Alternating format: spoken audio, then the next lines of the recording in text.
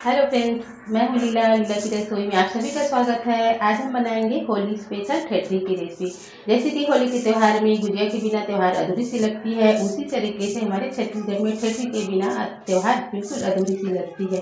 तो यूँ तो सिंपल तरीके से ठेठरी को बनाई जाती है, लेकिन आज मैं बना रही हूँ मसाला ठेठरी तो मसाला ठेठरी बनाने के लिए यहाँ पर मैं ले ली हूँ दो चम्मच अजवाइन है, दो चम्मच जीरा है, दो चम्मच धनिया है दस सूखी मिर्ची है। तीखी वाली उसे हम पहले थोड़ी सी भून लेते हैं। सारी चीज़ें को हम भून लेंगे पहले। तब कच्चापन भी चला जाता है और साफ़ बहुत बढ़ के आ जाता है खेती में। तो थोड़ी सी हम भून लेंगे इसको।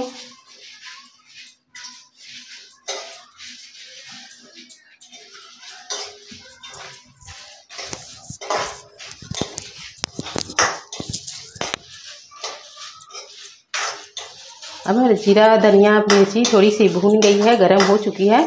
तो हम निकाल लेंगे एक प्लेट में।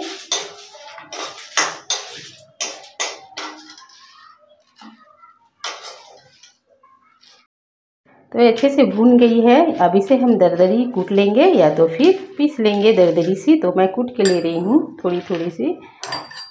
डालेंगे गरम गरम और इस तरह से दरदरी कूट लेंगे इसको।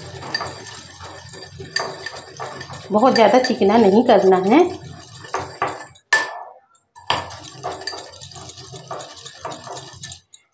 तो देख सकते हैं हमको इतना ही रखना है।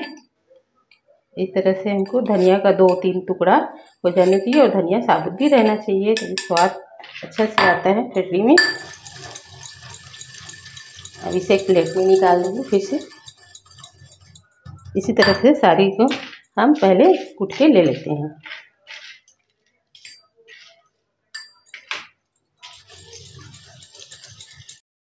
से मसाले को हमको दरदरी कूट के ले लेना है। अब एक हम बड़ा बर्तन ले लिए हैं, उसमें हम डालेंगे चना बेसन। तो चना बेसन हम पहले से छान के ले लिए हैं। चार कटोरी लेंगे। कोई भी कटोरी या मग आप नापते हैं, उसमें आप चार कटोरी ये बेसन ले लें चार कटोरी चने के बेसन ले लिए हैं। तो इसमें हम डालेंगे स्वाद अनुसार नमक।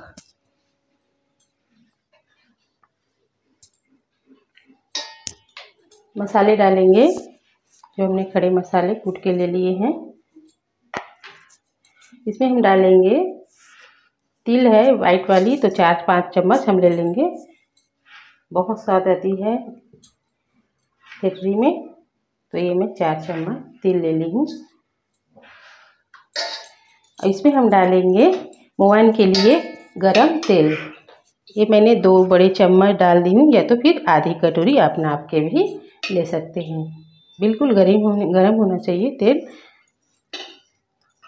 तो इस तरह से इसको मिलाएँगे।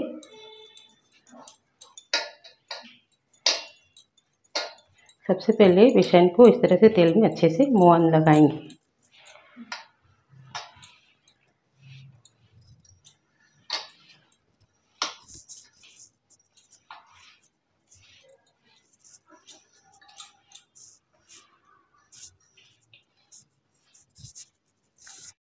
इस तरह से हमको बेसन में अच्छे से मोहन को इस तरह से मिक्स करना है ताकि हमारी जो ठेठरी है बहुत ज़्यादा क्रिस्पी बने। तो इस तरह से अच्छे से मिक्स कर लेना है इसको और थोड़ा थोड़ा इसमें पानी मिक्स करेंगे और इसका टाइट वाली डो बनाएँगे। इसमें हल्दी भी डाल सकते हैं, बट मैं नहीं डालती इसमें ठेठरी में। आपको पसंद है तो डाल सकते हैं।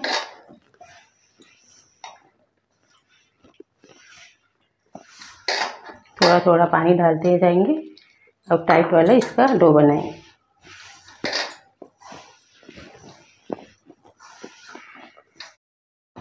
तो इस तरह से हमको डो लगाना है। ज़्यादा टाइट भी नहीं और ज़्यादा नरम भी नहीं। तो सबसे पहले हम हाथ साफ़ कर लेते हैं, फिर ठेठरी बनाते हैं। तो चलिए फिर ठेठरी बनाना स्टार्ट करते हैं। तो सबसे पहले हाथ में हम थोड़ा सा तेल ले लेंगे इस तरह। एक चकली ले लिए हैं, चकली बनाने के लिए। और छोटा सा हम लोई लेंगे इस तरह से। तो इस तरह से गोल करेंगे। और इस तरह से हाथ में लंबे इसको करते जाएँगे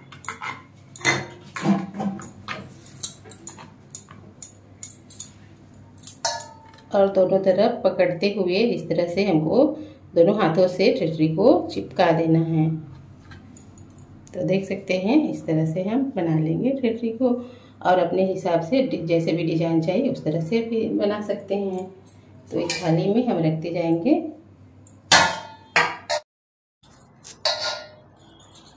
फिर एक बड़ा लोई ले ली हूँ, क्योंकि दूसरा डिज़ाइन बना रही हूँ। जैसे फिर से इसको लंबा करेंगे। थोड़ा लंबा करेंगे इसको। और पतले कर लेना इस तरह।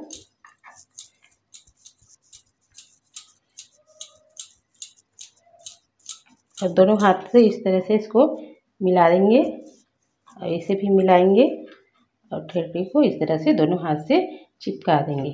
तो एक हमारी बन गई ये वाली डिज़ाइन है। फिर एक बड़ा सा लोई लेंगे,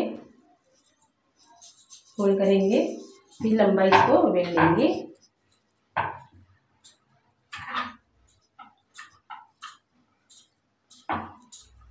अपने हिसाब से अलग अलग डिज़ाइन में ट्रेटरी को बना सकते हैं, है तो मैं दो दो तीन डिज़ाइन बना के दिखा रही हूँ। हो गए लंबे इस तरह से।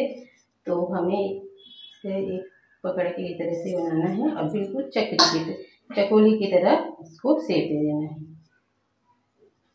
ये हमारी बन गई चकोली। तो पहले ठेठी को बना के, सारी फेटी को बना लेंगे, उसके बाद हम फिर फ्राई करेंगे। तो देख सकते हैं, मैं ठेठी को कितने अच्छी अच्छी डिजाइनों में बना ली हूँ। तो इस तरह से हमको बना के पहले से रख लेना है, उसके बाद हम फ्राई करेंगे। तो मैं तेल चढ़ा दी हूँ और तेल हमारा अच्छे से गर्म हो रहा है, उसके बाद हम फ्राई करेंगे। हमारी अच्छी से गर्म हो गई है तो हम डालेंगे ठेठी को एक एक करके।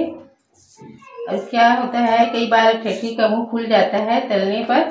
तो आप क्या करें, जैसे आप का मुँह बंद कर रहे हैं तो इसमें आप पानी छू के हाथ से इस तरह से आपको दबा के ले लेना है। और इसमें जो मुँह है, वो नहीं खुलेगी तो कब करके हम ठेके को डालेंगे, जितना हम तेल में आ सके।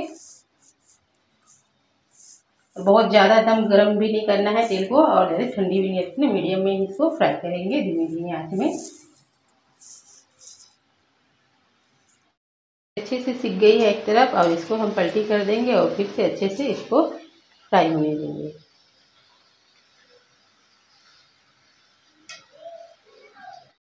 तो देख सकते हैं हमारी चटनी जो है गोल्डन फ्राई हो गई है तो इसे हम निकाल लेते हैं एक प्लेट में और इसमें बिल्कुल कम तेल लगती है। नहीं के बराबर तेल बिल्कुल नहीं सूखती है इसमें।